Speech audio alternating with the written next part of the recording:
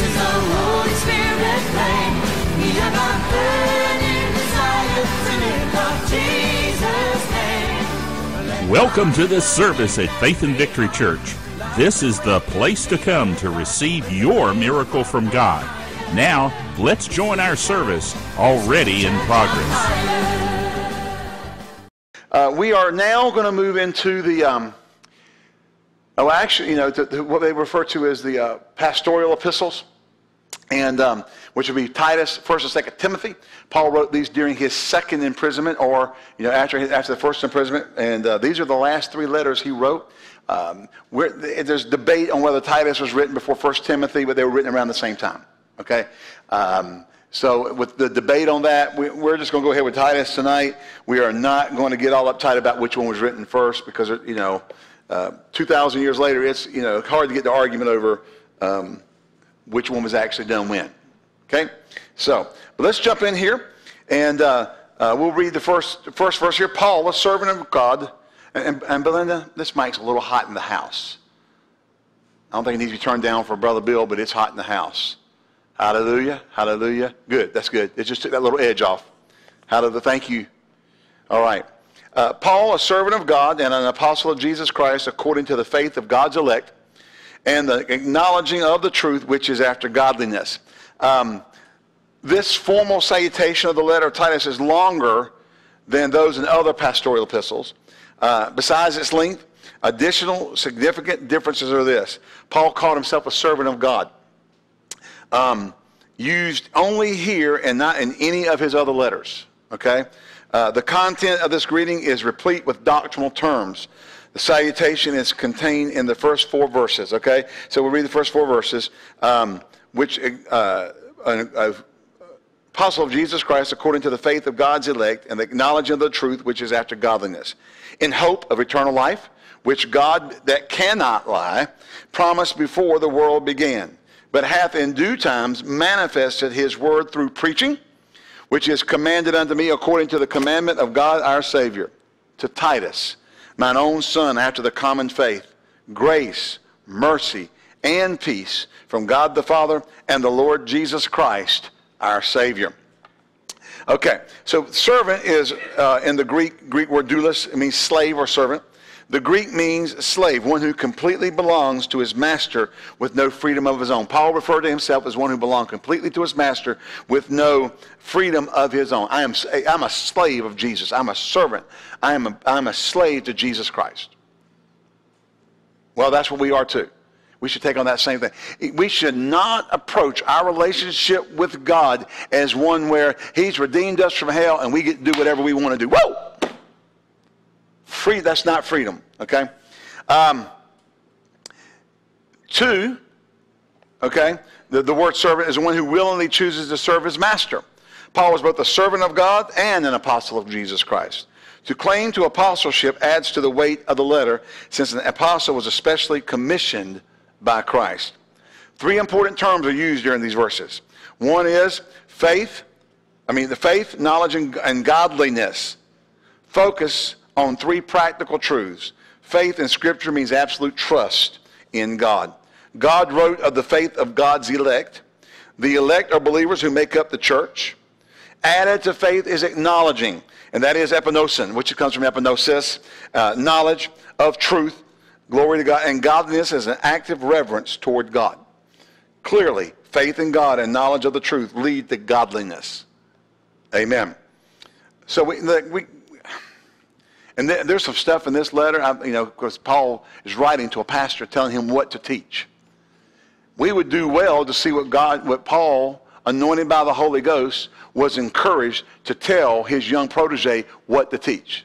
Titus, is one, Titus and Timothy were a couple, two of his pastors. They were proteges of Paul's. They were, in other words, he was, he was their spiritual father, as it were, overseeing their development and training and helping them walk in the right places. Okay? As they led the church. All right? Hallelujah. Another virtue uh, listed here in verse in chapter in verse two is um, in hope of eternal life. No, going it. I'm sorry. Dag nabbit. Dag nabbit. Hallelujah. The uh, the cable got hooked up in the body pack and then unplugged it from my shirt collar and it's aggravating. That kind of messes things up. All right. Another virtue is hope. In the Bible, it is a firm assurance and expectation, not wishful thinking. You know, it's not twinkle, twinkle, little star. All right? It is a firm assurance and expectation. Okay? Here it is anchored in eternal, anchored in eternal life promised by God who cannot lie. He stands in contrast to the Cretans, who are who were, and that's where Titus is, who were habitual liars. Okay? Before the world began is literally before time eternal. Okay? So, and we stand in hope of eternal life promised before the world began. Remember what John the Baptist uh, said about Jesus? Behold the Lamb of God slain from the foundation of the world. Remember that? So eternal life was promised before the foundation of the world. Hallelujah. The word due times, but in due times, manifested as where due time contrast before the world began. In the previous verse, the plural uh, in the Greek could refer to various times or as a collective singular to a particular time. Um, the NIV translates it this appointed season. His word is the authoritative message that centers in Jesus Christ, the gospel. Manifested means brought to light and emphasizes the clear proclamation or preaching of the gospel. This ministry was committed, that is, to be entrusted with to Paul. Um, praise God. Three times in Titus, Paul uses the phrase, uh, God our Savior. Now, verse 4 Titus was a Greek and a valuable co worker of Paul. Paul called his, him as his own son, or genuine or true son. This word was also used to Timothy over in 1 Timothy 1 2, suggests Titus was coveted under Paul's ministry. And the common faith is the faith shared by all believers. So Paul's uh, opening salutation here was a little bit different. And, um, you know, establish things. Number one, Titus is, is, is coveted, beloved. Um, that the, uh, the acknowledging the truth leads to godliness. We need to understand godliness is part of the walk with God. Amen. There's a, there's a verse in here in chapter 2 I wish we could go ahead and get to, but I can't. I'll get there. Hallelujah.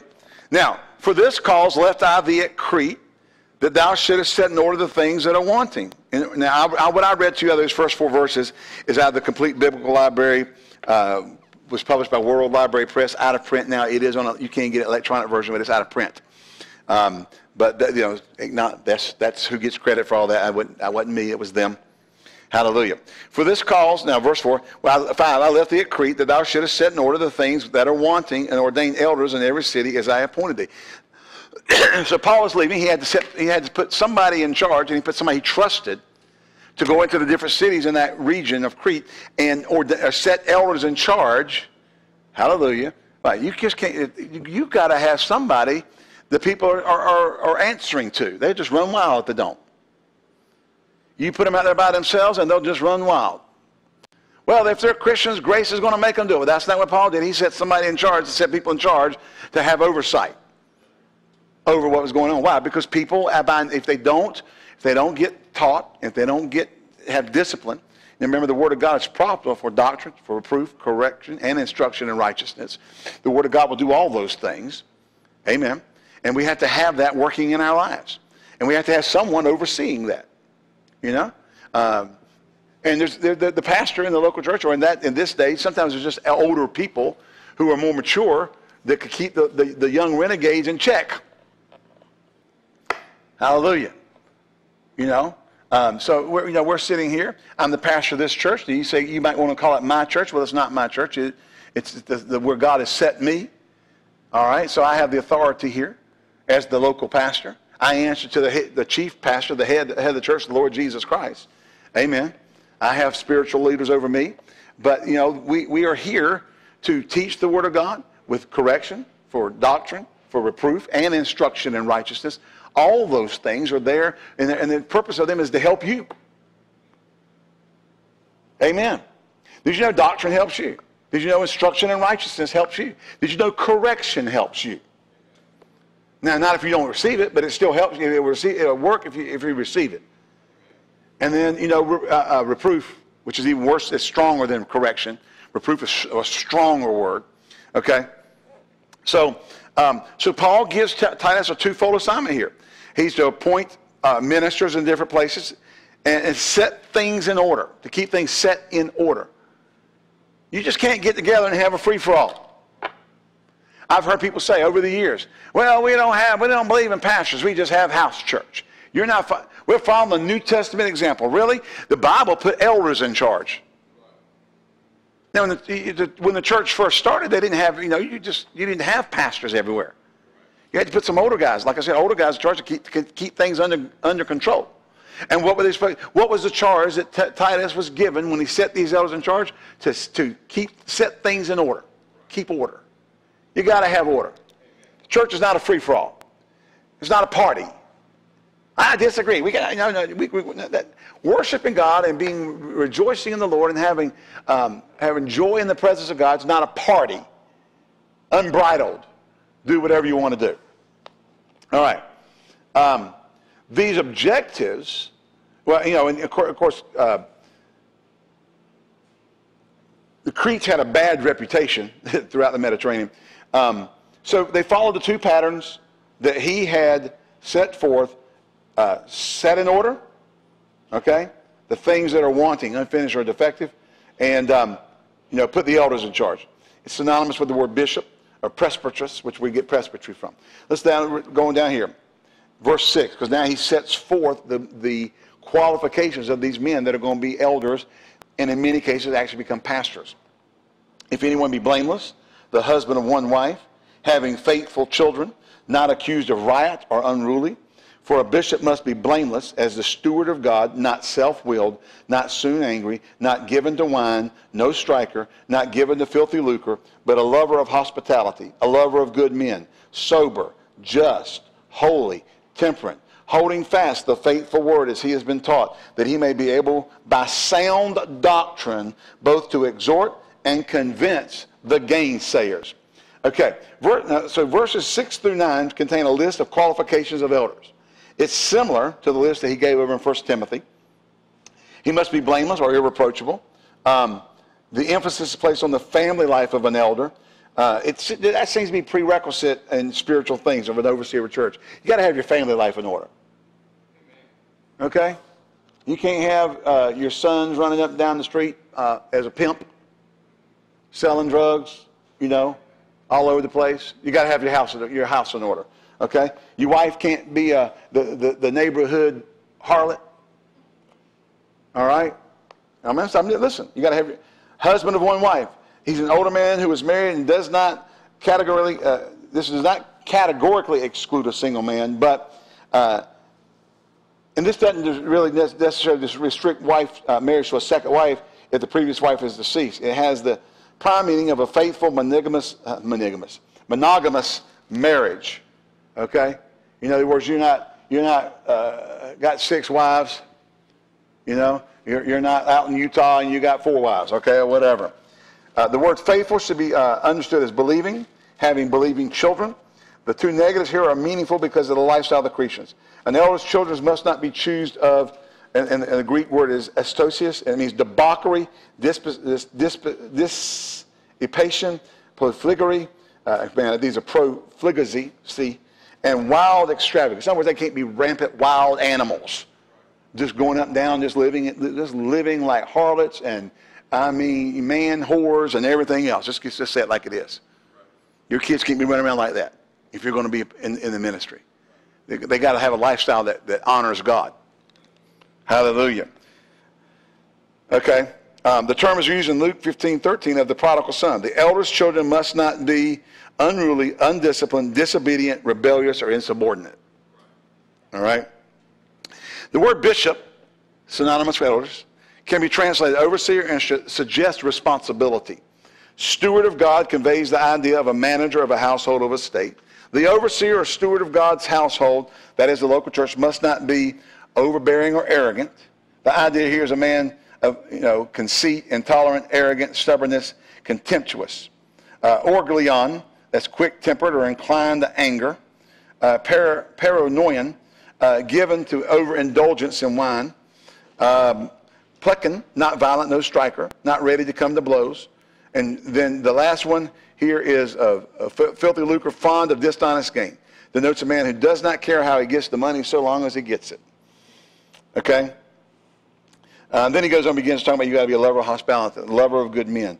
You know, um, sober, just, holy, temperate, holding fast the faithful word as has been taught. We've got to be faithful to the word of God. Amen. Sound doctrine that occurs eight times in the pastoral epistles uh, means correct teaching. He'll be able to exhort, that is, encourage or edify. Convince, that is refute, convict, point out, rebuking in a convincing way the gainsayers, that those who oppose sound doctrine. Now we have people right now in the church who are, you know, I, I was, I was talking to uh, someone the other day. You know, a lot of the stuff that's happening with what we are now referring to as hyper grace or crazy grace or gre- greasy gracers, or extra, uh, they're doing the same thing that a lot of a lot of people did with faith back in the 70s and 80s. They would say, "I can have what I say." By faith, I can have what I say. You know, and, and uh, you know, there was a book out called "You Can," ha- you know, having faith in your faith. And almost had "You Can Have What You Say." But if you read the book, you found out that the the author put limitations on having what you say. What are those limitations? You can't have what God don't promise. But they take Mark 11, 24, who's, what things soever you desire when you pray, believe you receive, and you'll have them. And they run off the deep end. They start confessing other people's husbands, other people's wives, start confessing their houses, their cars, start confessing just crazy stuff. Well, the interesting thing is there the words, there's a couple of words in that passage. Well, what things soever ye desire comes from the Greek word to mean lust. When you pray, that comes from the Greek word to ask. Okay?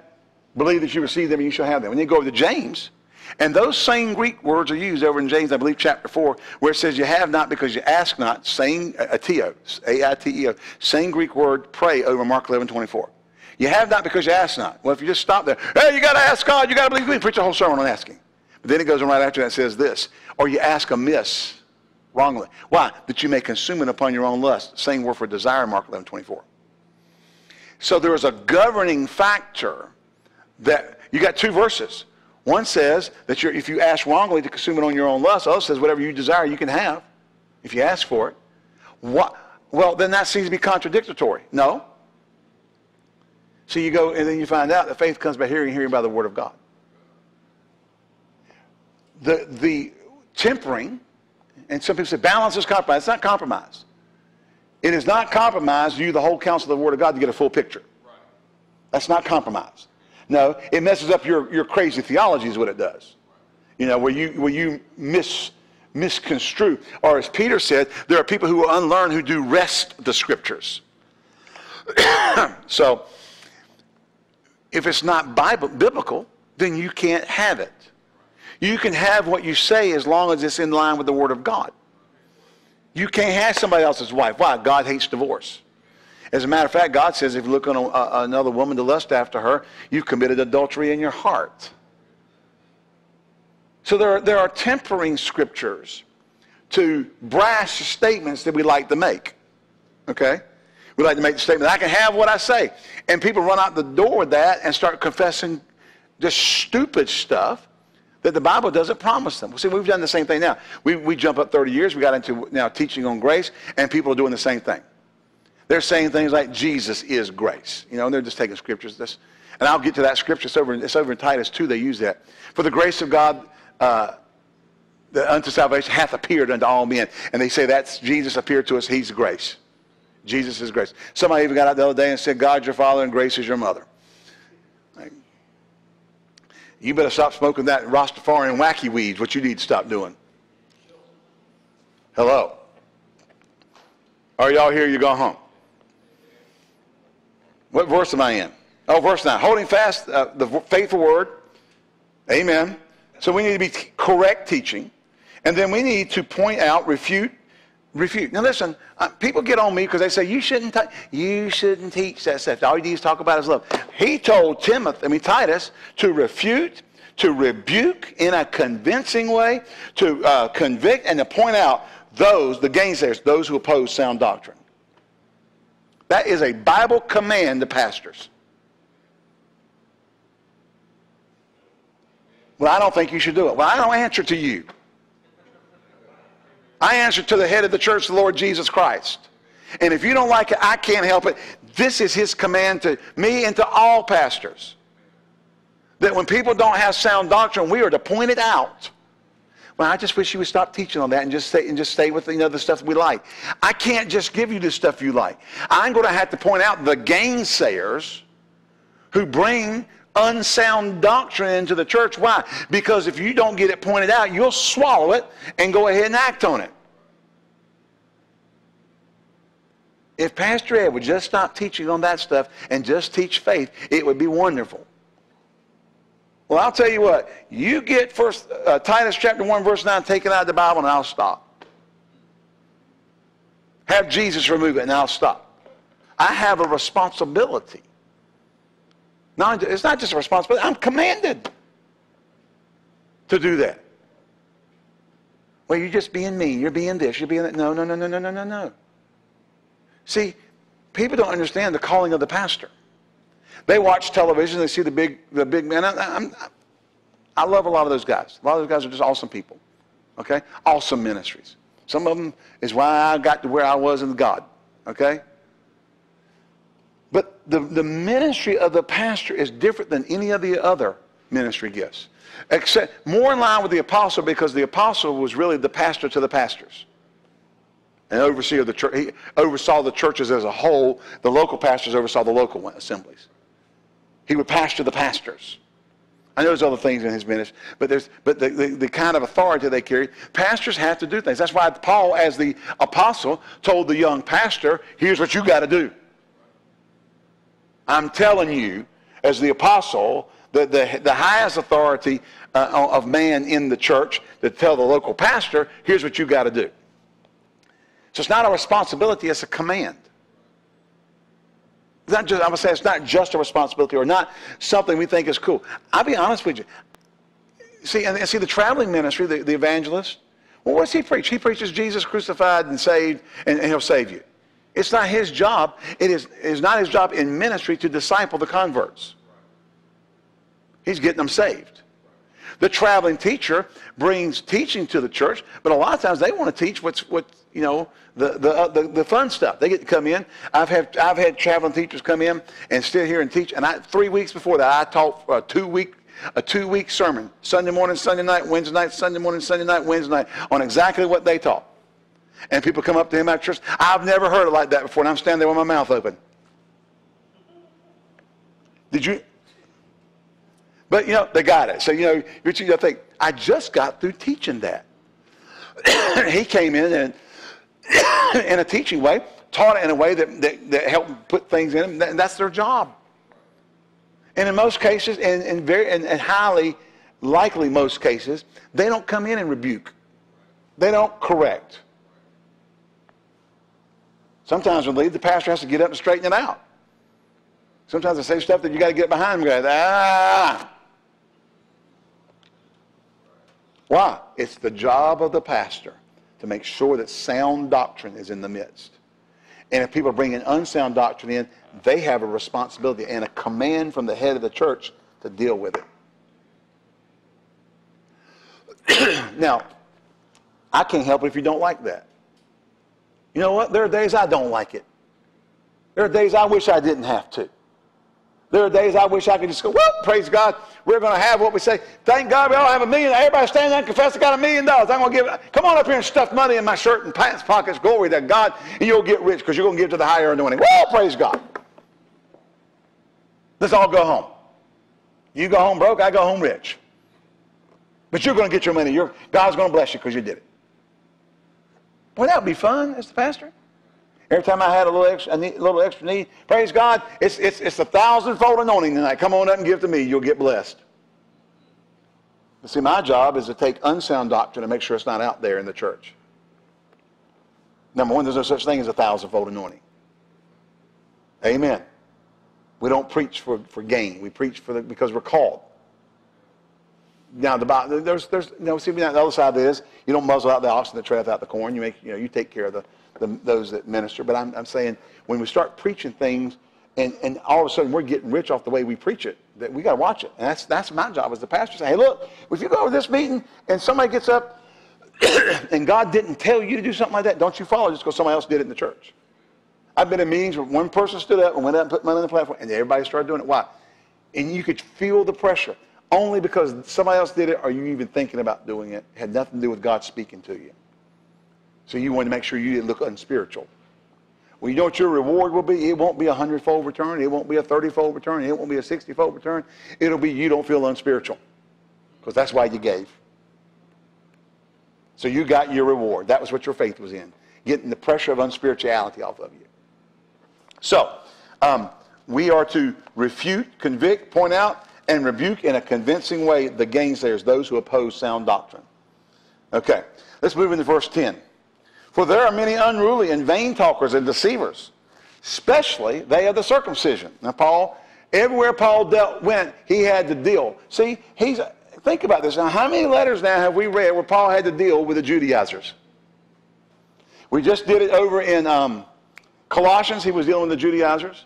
We know here he's dealing with Galatians. He dealt with the Judaizers.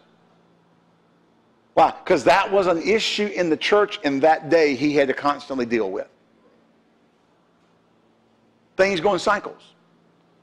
So now we, we've had past few years a lot of, a lot of excess and, and extreme and out of balance teaching on grace that that's just not biblical. And because we're dealing with it, people get mad with you. And Paul didn't do that. Oh, give me a stinking break. This is the third letter that I just quoted that he went, he wrote and told them, and these are regional letters. Okay? Paul's writing to Timothy, pastor in an area. He's setting elders in all over that area, and he's telling them that there are people that, you know, watch out for the, for the circumcision, the Judaizers. He did it to the Galatians. He did it to the Colossians. And I'm sure if we went and dig further, we can find he did it in other places. He's writing letters all in the same time frame, 62 and 63 and 64 AD. He, and he, this theme keeps coming up in his letters. So you people who are always getting on preachers for dealing with stuff that's in error, why don't you do a little bit better study and get rid of your haughty, you know everything attitude. You know more than the pastors, you know more than the preachers. And settle down and listen because they're doing it for your soul to help you to save you from destruction, to save you from horrible, horrible consequences for bad decisions or for getting involved in something that you don't need to be getting involved in. Okay? The false teachers were unruly, rebellious, and insubordinate. That's what the word meant. Um, the, uh, the second one here was they were, they were what? Um, they were unruly. They were vain talkers. That, that meant that they were um, empty-headed blabberers it's too bad that the King James didn't translate it the way that it really meant. Empty headed blabberers. Okay? And deceivers. What? Misleaders. Just because someone calls the name of Christ does not mean they have your good, good and best interest at heart. Let's go on. I'll prove it to you. Whose mouths, listen to this, must be stopped muzzled, silenced, bridled. Why? Because they're, they're, they're, they are subverting, that is, ruining, upsetting, and overturning whole houses. Teaching things that they ought not. Why? For filthy lucre's sake, dishonest gain. You're just being, you're not walking in love when you say people are doing things so they can sell books. Paul said it. You know, people, how many have heard Paul as the preacher of grace? And he was. He preached grace. But he didn't just stop there. He's, he's dealing with people who are going to hurt the church. Amen? And he said that, that these, these mouths, what? Must be stopped. Why? Because he loved the people more than he loved his own uh, reputation or, or, or whatever. People will say all kinds of stuff about you. They'll say all kinds of evil about you.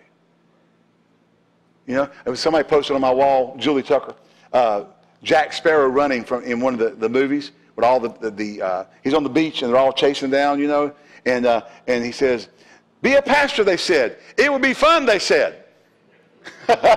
he's running, you know, crazy. crazy. Hallelujah.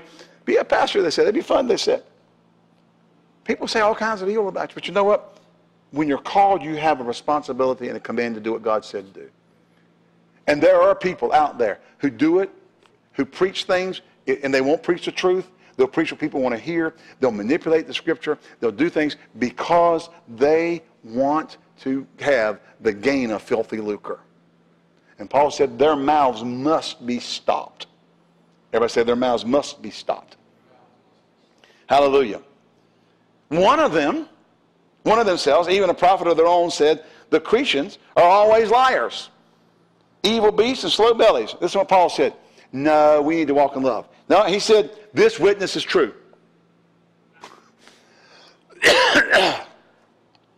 People who come along and say, we just preach love, we just preach love, don't read Paul. They read the part they like, but they don't read the whole. He said one of their own prophets said that they're liars, evil beasts, and um, what was the other thing? Slow bellies. And Paul goes, they got it right. this witness is true. Wherefore, just preach love. What the world needs now is love, sweet love. Not what do you say? Rebuke them sharply. Wherefore, rebuke them sharply. Why? That they may be sound in the faith. See, the end is what we're after. We're in, the end is sound faith. The end is not walking in, walking contrary to wholesome doctrine. The end is that they grow up in Christ. Amen? It is not that they all just get together and talk about how wonderful you are. Amen? Just love the way you preach because you never, you never make me feel bad. I'm going to tell you something. You're going to have days you come to church and this message is going to be preached and you're going to feel bad because you're not doing what the Bible says. And the choice is make a change or get mad at the preacher.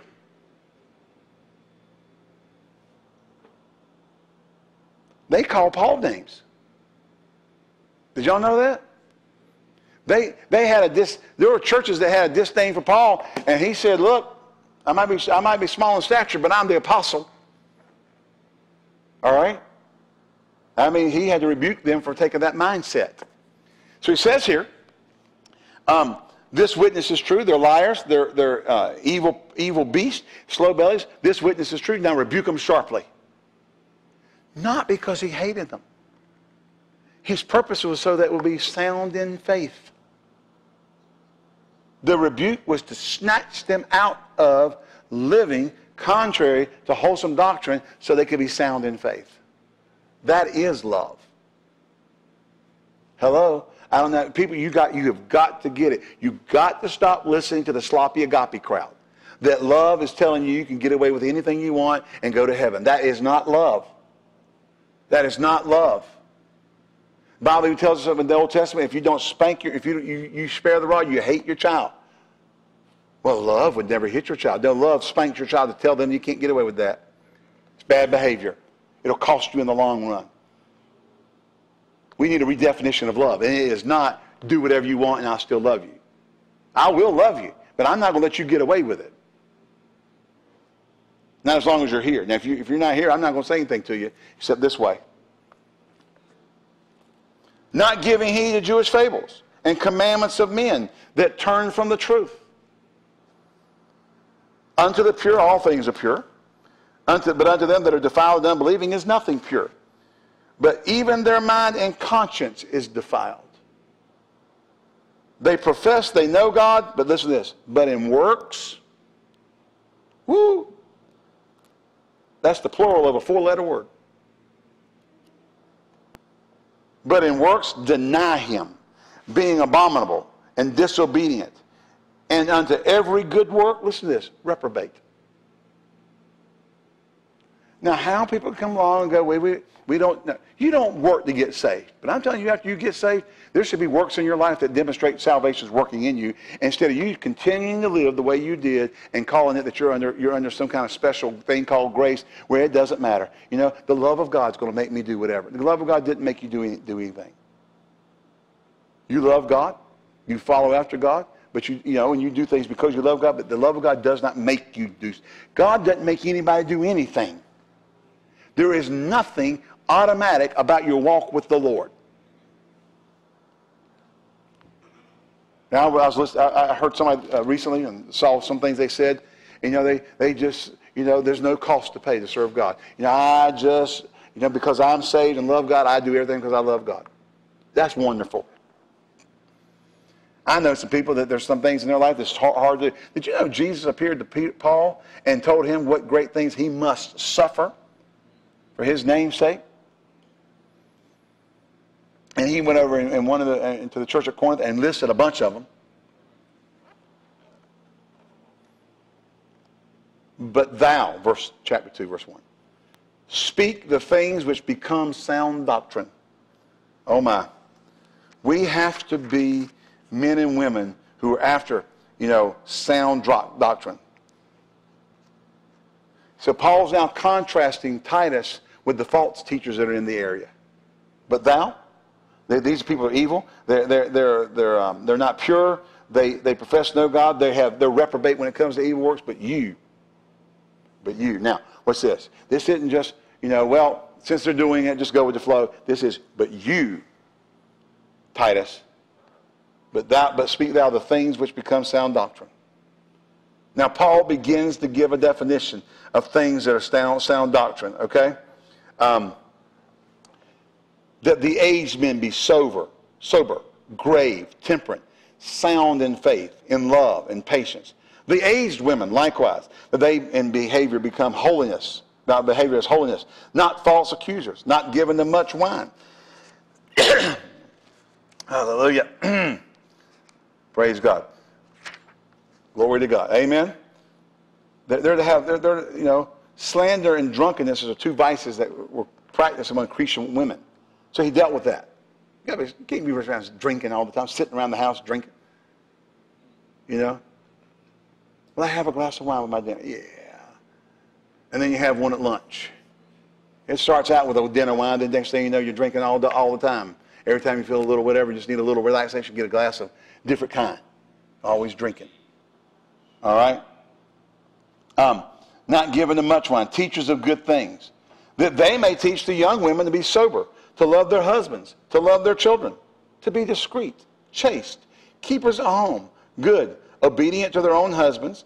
Now, we always like to add this because of the way, day and age we live in. When you're obeying your husband, you're obeying him in the things of God. You don't have to do things that violate the word. You don't have to get beat. You don't have to have sex with other men because it turns him on. Oh, there's crazy people. The women, there's women going to counseling for pastors. Say, my husband wants me to have sex with other man while he watches. That's, you don't have to do that, women. That's not being obedient to your husband. He's violating the word of God, and he's misusing the daughter of God.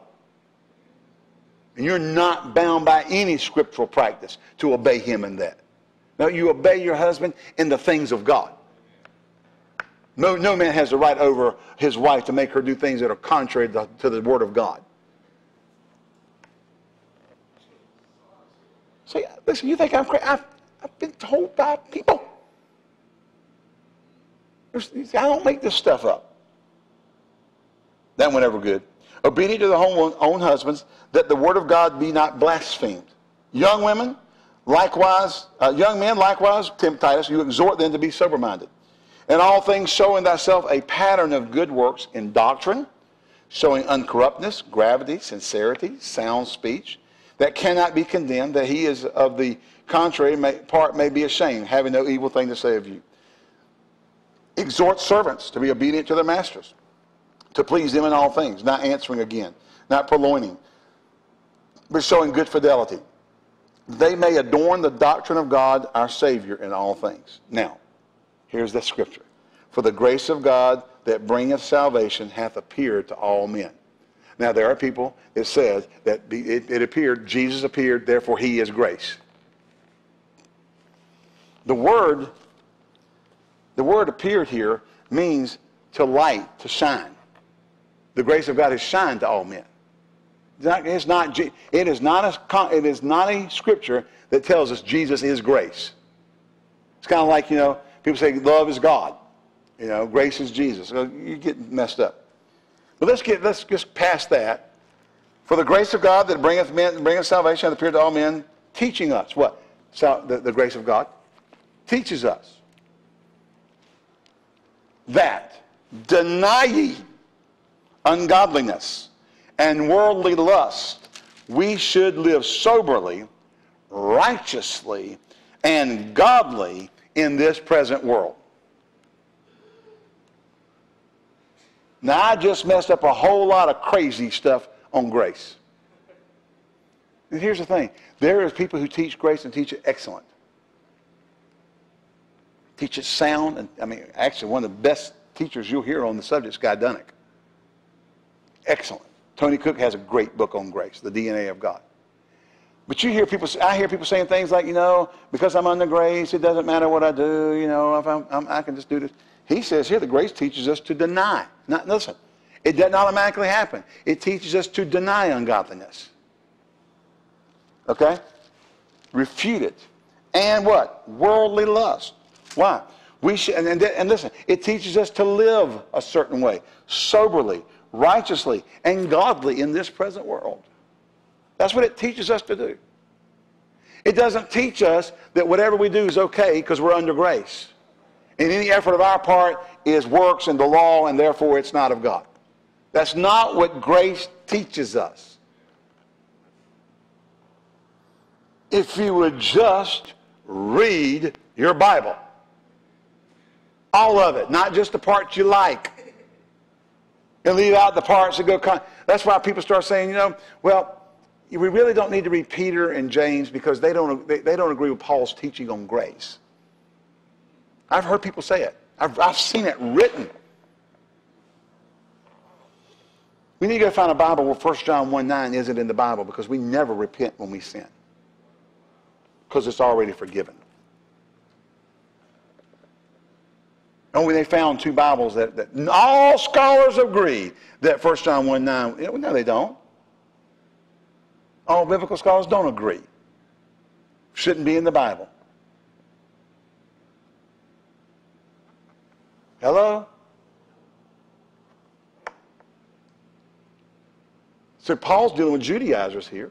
He's dealing with crazy stuff.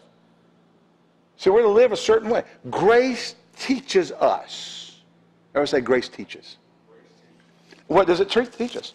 First, the negative. You deny ungodliness. You deny worldly lust. You should live soberly, righteously, and godly in this present world, looking for the blessed hope and the glorious appearing of the great God and our Savior Jesus Christ. Now let's, let's take this in light of the parable of the ten virgins. Remember this, the parable of the ten virgins? There were ten virgins. The bridegroom was getting ready, and the ten virgins were, uh, of the bridal party were, were, um, were, were out getting ready, and uh, five of them brought their lamps full of oil, their wicks ready and lit, um, and the five foolish ones came with nothing. And the, and the Bible says the bridegroom tarried. But then the call came late, I guess in the midnight hour or whatever. He tarried, but then the call came, and, the, and they all hopped up to go. And the five foolish virgins looked to the five ones who had made preparation, said, "Lend us some of your oil so we can go." And they said, "If we give you the oil, we won't have enough for us. You should have brought enough." Okay. In other words, your lack of preparation has cost you a, caused you a problem. In other words, you weren't living, looking, had it's like somebody said, you know, with the blood moon, you know, uh, had, had they known exactly when the bridegroom was coming out, they'd have been ready. But they were just kind of being lackadaisical because he tarried. And the Bible tells us as the church, we're to be looking for the glorious appearing, I mean, the blessed hope, the glorious appearing of the great God and our Savior, Jesus Christ. What does it mean? We're to be ready. You can't be living ungodly and be ready. You can't be living unrighteously and be ready. Are you here? You can't be living in ungodliness and worldly lust and be ready for the glorious appearing of the great God and Savior Jesus Christ. So Paul says, grace teaches us, and he's telling Titus, the, the, the under pastor, to be teaching people that grace teaches us we're to deny ungodliness, we're to deny worldly lust, we're to be sober, we're to live righteous, we're to live godly in this present world looking. you can't be out with somebody else's wife and be looking for the glorious appearing of Jesus.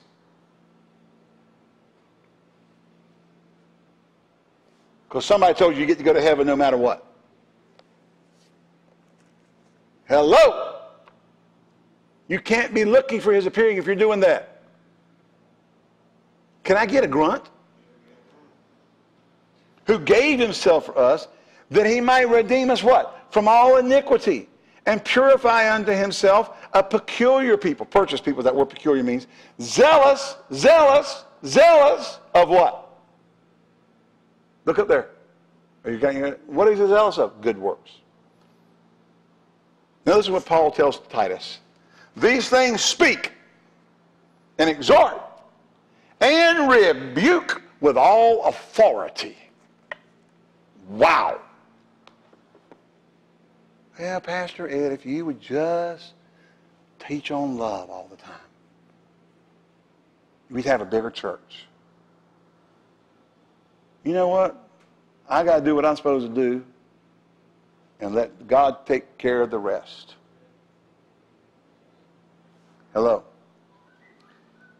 Do you know there was a time in Jesus' ministry, everybody in his ministry left him except 12 people? And I'm not sure, the, only thing they said is, he said, Will you leave also? They said, Where will we go? They didn't have anywhere else to go. You're the one that has the words of life. In other words, they, they're kind of like, There ain't nowhere else to go. Everybody else is gone. But he says, Speak this, exhort people, and rebuke them with all authority.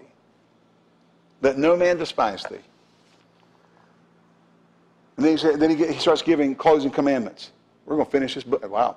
Put them, that is the people, in mind to be subject to the principalities and powers, to obey magistrates, to be ready to every good work, to be ready to every good work, to be ready to every good work, to be ready to every good work, to be ready to every good work, to be ready to every good work, to be ready to every. I'm, I'm a vinyl.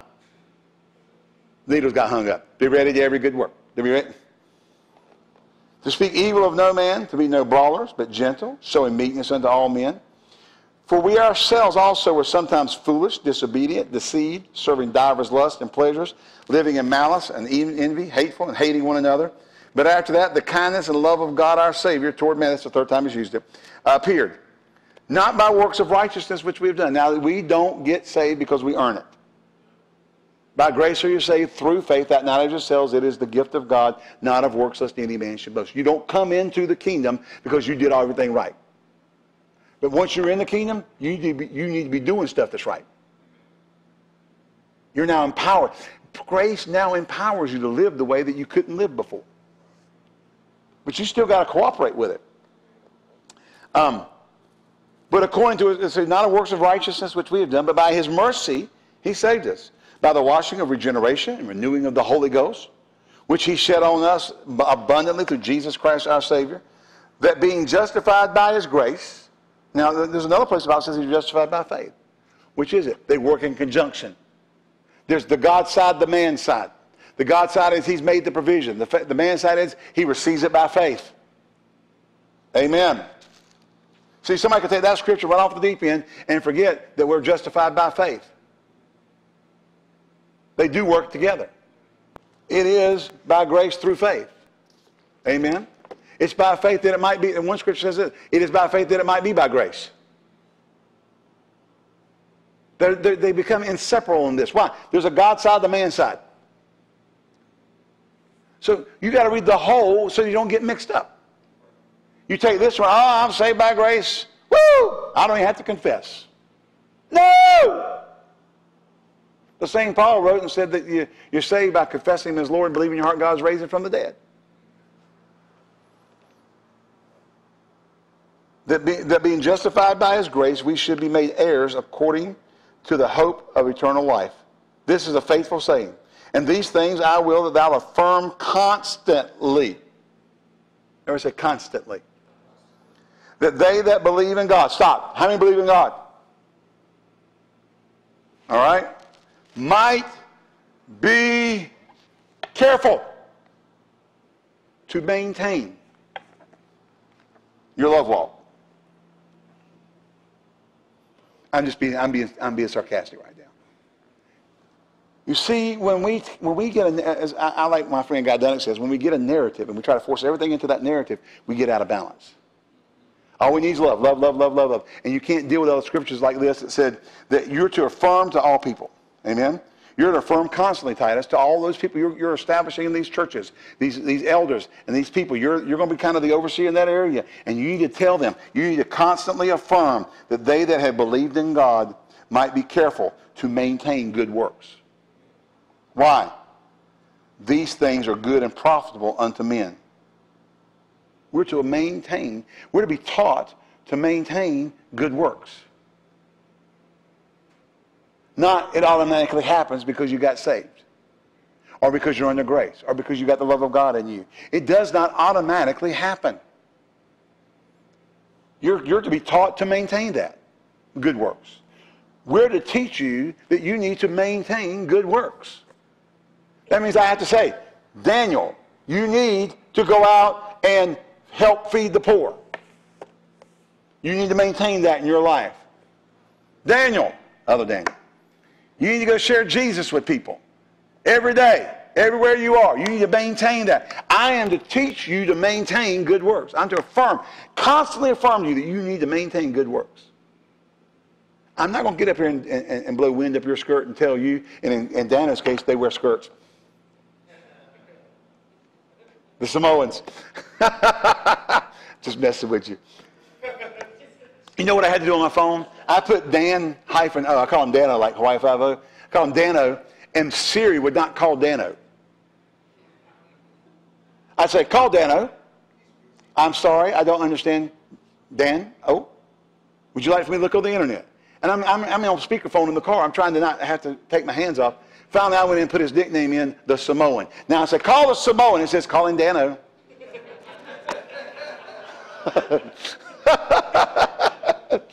ah! Technology. I will that thou affirm constantly, they which, the, which have believed in God, they might be careful. That means you need to be attentive to maintain good works. These things are good and profitable unto men. But avoid foolish questions and genealogies and contentions and strivings about the law, for they are unprofitable and vain. A man that is a heretic, after the first and second admonition, reject, knowing that he that is such is subverted and sinneth, being condemned of himself. And now, Paul, when I shall send Artemas, now we're not talking about Artemus Gordon from the Wild Wild West, okay? Artemas unto thee, Antiochus, be diligent to come unto me in Nicopolis, for I will determine to, there to winter. Bring Zenas, the lawyer, and Apollos on their journey diligently, that nothing be wanting unto them. And let ours also learn, listen, let ours also learn to maintain good works for necessary uses, that they be not unfruitful. All that are with me salute thee. Greet them with love that love us in the faith. Grace be unto you all. Amen. I wonder what he said to the people who didn't love him. He just said, greet the ones that love us.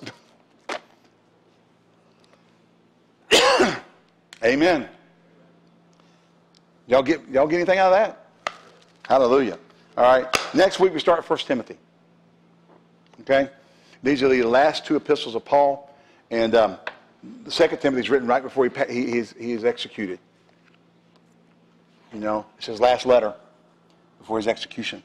So, um, you know, when you kind of, I, I kind of read Second Timothy and get near the end, when he starts giving his, you know, greetings and, and, you know and salutations and so forth. It just kind of almost breaks your heart. These are these are the last words. These are the last words of the aged apostle to his number one protege before he goes home to be with the Lord.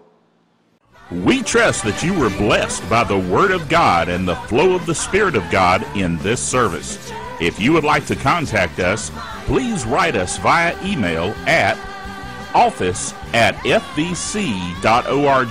or using our mailing address, P.O. Box 7752, Greensboro, North Carolina 27417. If you would like to contribute to our ministry, please go to our website at www.fvc.org and click on the Giving Online button. Thank you, and may God richly bless you for your giving.